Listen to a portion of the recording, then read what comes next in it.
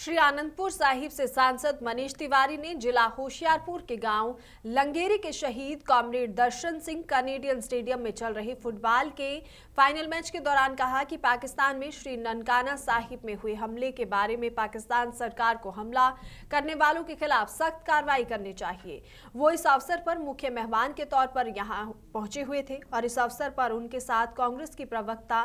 निमिषा मेहता व अन्य गणमान्य लोग भी उपस्थित थे। मनीष तिवारी ने कहा कि नशे के मामले में किसी को भी बख्शा नहीं जाएगा चाहे वो कांग्रेस पार्टी के साथ संबंध क्यों ना रखता हो ਪਹਿਲੇ ਗੁਰੂ ਦੇ ਜਨਮ ਸਥਾਨ ਦੇ ਉੱਪਰ ਅ, ਇਹੋ ਜੀ ਘਨੌਨੀ ਵਾਰਦਾਤ ਹੋਈ ਹੈ ਔਰ ਅ, ਪਾਕਿਸਤਾਨ ਦੀ ਸਰਕਾਰ ਨੂੰ ਉੱਥੇ ਜਿਹੜੇ ਘੱਟ ਗਿਣਤੀ ਵਾਲੇ ਲੋਕ ਨੇ ਉਹਨਾਂ ਦੀ ਰੱਖਿਆ ਕਰਨ ਵਾਸਤੇ ਔਰ ਜਿਨ੍ਹਾਂ ਨੇ ਇਸ ਘਨੌਨੀ ਵਾਰਦਾਤ ਨੂੰ ਅੰਜਾਮ ਦਿੱਤਾ ਹੈਗਾ ਉਹਨਾਂ ਦੇ ਖਿਲਾਫ ਸਖਤ ਕਾਰਵਾਈ ਕਰਨੀ।